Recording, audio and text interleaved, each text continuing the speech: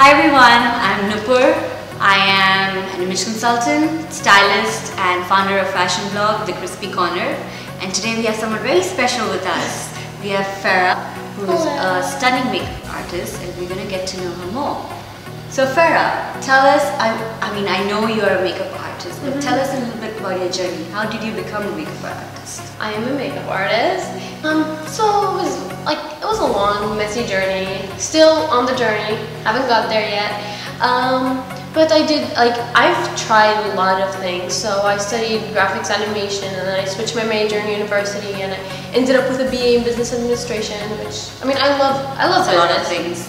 yeah, I took some courses in media. I wanted to be a news anchor, believe it or not, and I've done like some fashion, uh, modest fashion modeling and stuff like that. But I've always loved makeup.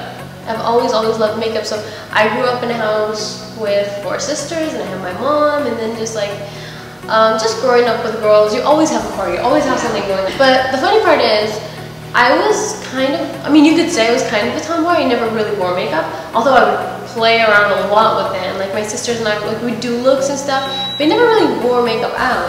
Um, so then I would just like, I started doing makeup like for my mom, for my sister when someone has a party. And everyone was like, you know what, you're really good at this. Like you should do something about it. And then two years ago, it started like because people were encouraging me. They're like, you know what, you're really good at makeup. And there's one thing about your passion when you're, if you're a kind of person that you're like always lost and you don't really know what you want, because this is something I struggled with a lot, which is like, what do I want? Like, where do I, what is my passion? I think that's the question we all struggle with. Yeah, but you know what who's the most people that can help you with this? Is like sometimes you try to find your passion and you just get so lost and it gives you a lot of anxiety.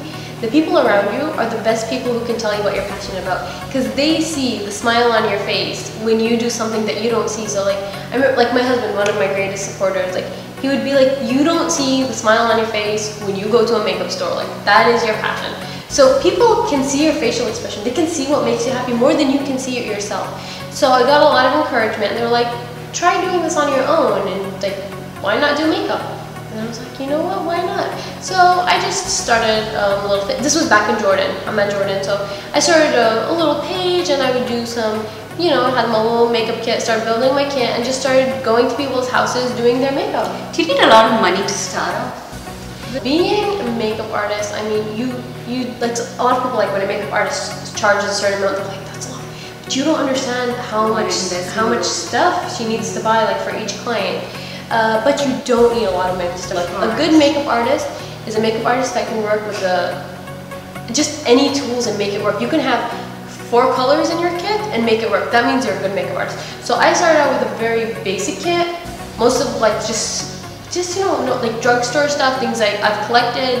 Um, and then like by building my kit, like most of my, like everybody knows I love makeup. So every birthday, every graduation, every event, people would give me makeup, makeup. for my, as gifts. My gifts were always So I use that to build my kit. So you build it over time and then you start like replacing the, you know, like some cheap stuff. You start replacing the more nicer stuff and then, you know, building your brush collection and all. Interesting.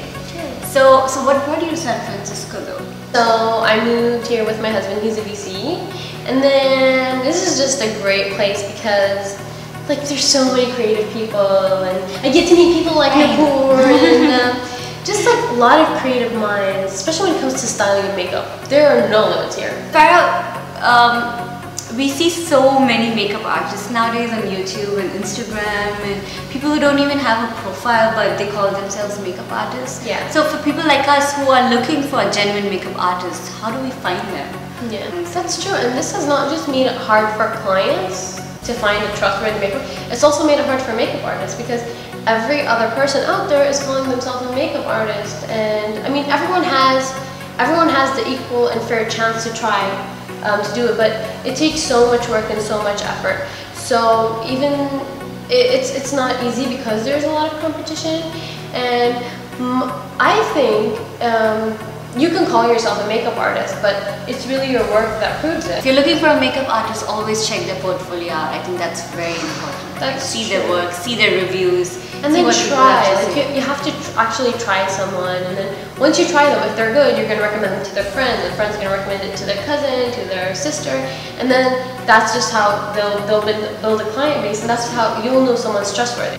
Great. So we've known a little bit about Farrah. We'll get to know more about her. But let's ask her some beauty tips and makeup tips that I'm sure will be very helpful to all of you. So I don't need my phone for that because I have so many questions for her. So Farrah, tell us, what is your typical makeup or beauty routine in the morning? So you do you get up with foundation or do you clean your face? Like what, what's the routine, typical routine for you? Mm. So I don't look like this every day, you guys. But like today. I went all out just because I wanted to check skin. But no, seriously, like for, for every day, for every day, I don't like put foundation or false lashes. I, I, save those like for special occasions or special events. On a day-to-day basis, my makeup actually just takes me like 10 minutes. On a day-to-day basis, in the morning I just cleanse um, my face and then um, sunscreen because that's what you should always do, right? And then um, BB cream is what I use. Always some bronzer, add some color, mascara. I can never, okay, my two things I can never leave the house without, mascara and concealer. I can't leave the house without concealer, yeah. So basically, yeah, that's like my, my daily routine. That's great. Is there a particular BB cream that you would recommend for coverage, I- good coverage, healthy one? Okay, so I, I should do a video about this, guys. I've tried every single. BB cream out there. Like I think I've tried like seven or something.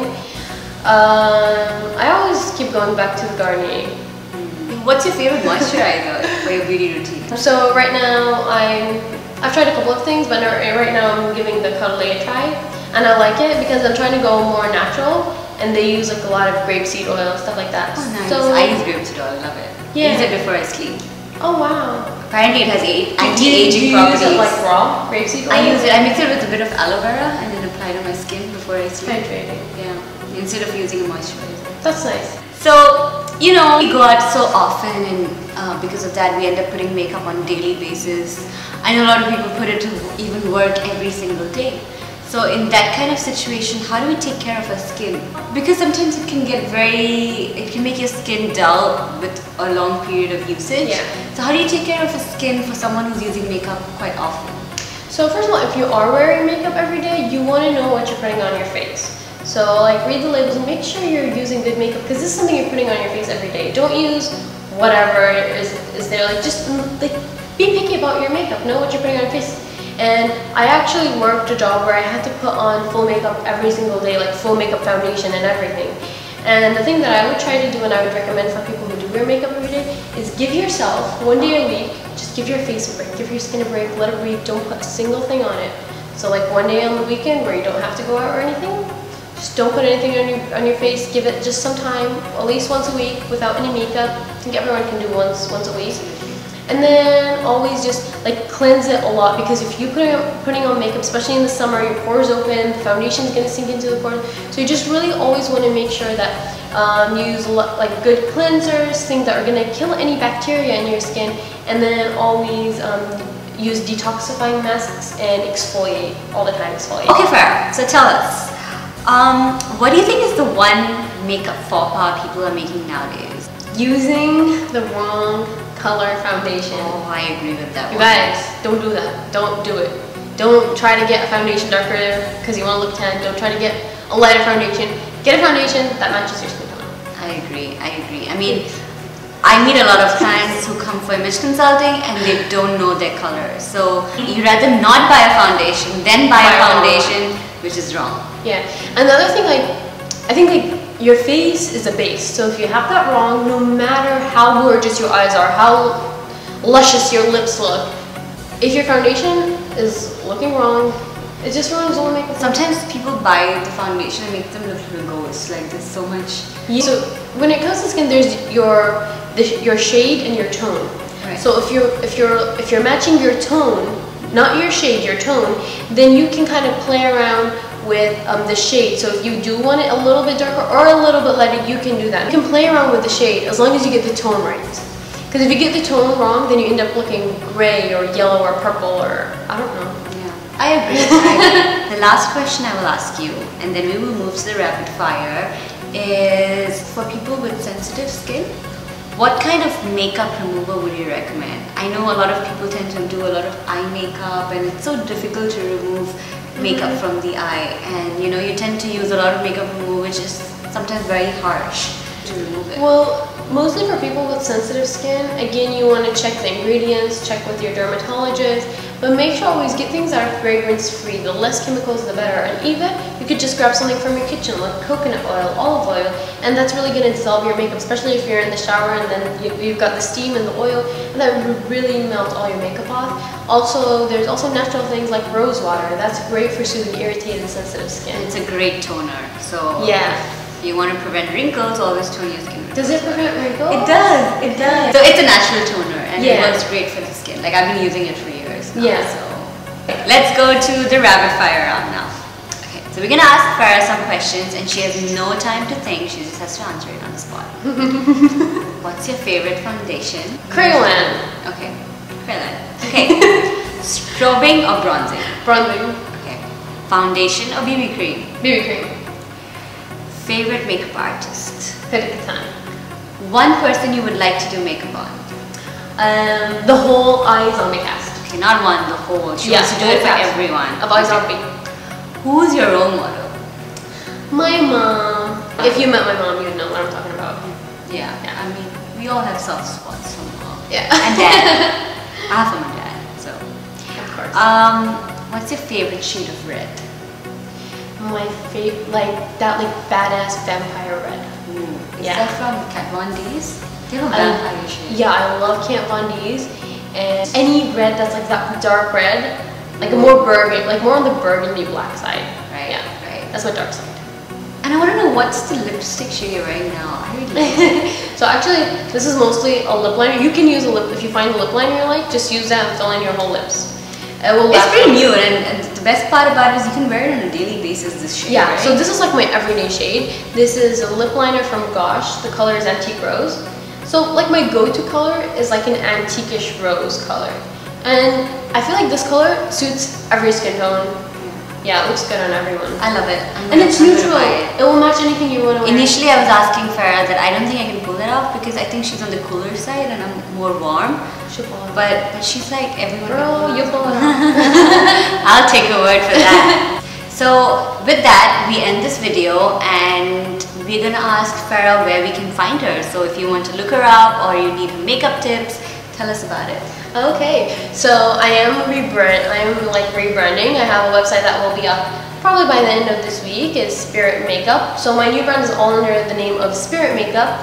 Um, because, yeah, because like it's like you know, makeup can really lift your spirit, and it's not just about the outer beauty; about the inner beauty as well. Ooh, that's the reason why you chose Spirit. Spirit Makeup, yeah. Also, my Instagram, Facebook, Snapchat, YouTube, everything is under Spirit Makeup. Perfect. So we're going to share our links below. You can find Farrah's and my social media links below. And don't forget to like this video and subscribe to our channel. So you can see more videos of us. Absolutely.